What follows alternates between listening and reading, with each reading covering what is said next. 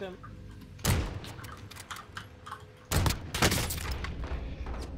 His, his Oh, did you see that. Scott? Yeah.